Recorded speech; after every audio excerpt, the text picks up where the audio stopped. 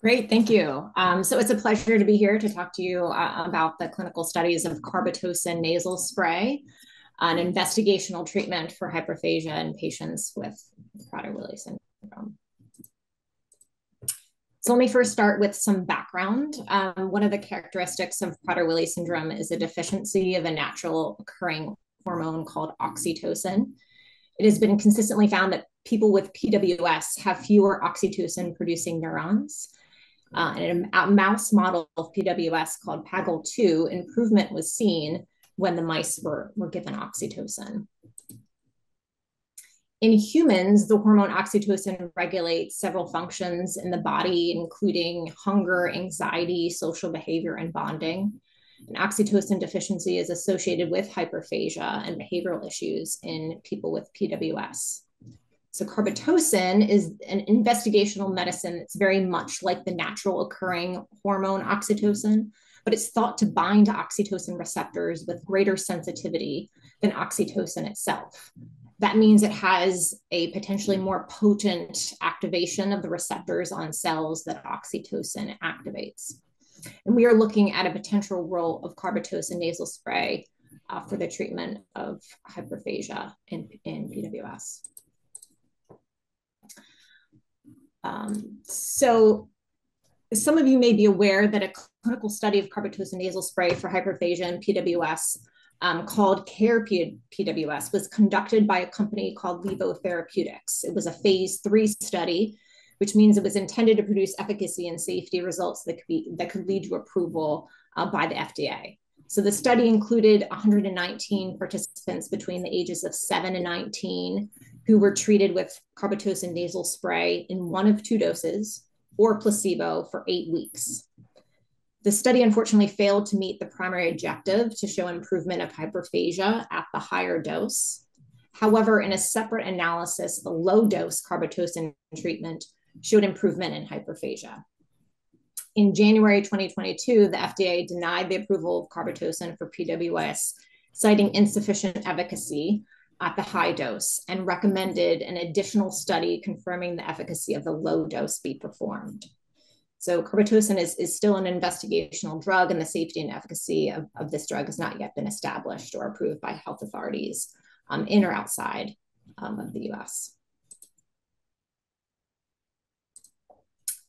Um, so Acadia acquired Levo Therapeutics, and we are conducting that phase three study to investigate the safety and efficacy of the low dose carbetocin for hyperphagia and PWS. The goal is to collect data on the benefit and safety of carbetocin nasal spray to support another application to have the drug approved for use in clinical care.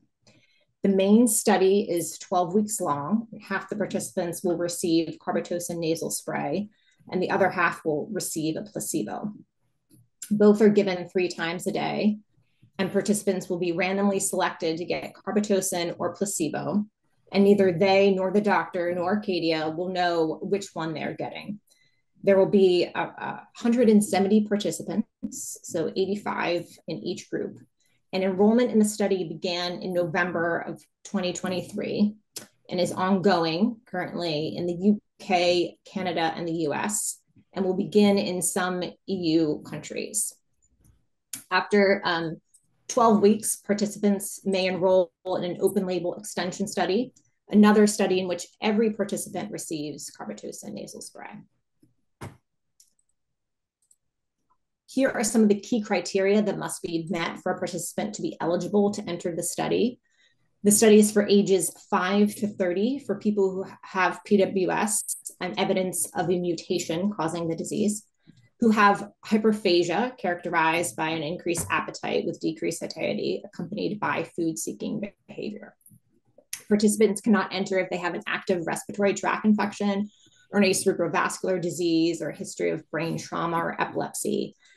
And if they've started a new food related intervention within the previous month, or if they participated in another research study with another treatment within the previous six months. Other assessments will be done and the participant's medical history will be reviewed to determine uh, eligibility. So here's a diagram of the COMPASS PWS study showing the fact that half the participants will be randomly assigned to get carbetocin and the other half will be randomly assigned to placebo, both nasal sprays. There will be five clinic visits in the study, including a screening visit to check that the participant qualifies, um, a baseline visit at which carbetocin or placebo is started, and then three more clinic visits at week two, eight, and 12. And then there will be the opportunity to continue to the open label study that will be ongoing for up to 36 months. So the, the Compass PWS study has a website, compasspws.com. And this website has information on the main study as well as the open label extension.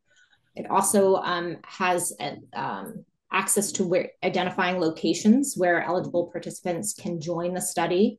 And there's a link to a video on the website that talks about the study um, and how it's conducted in further detail. So encourage everyone to, to try to check that out. And concludes.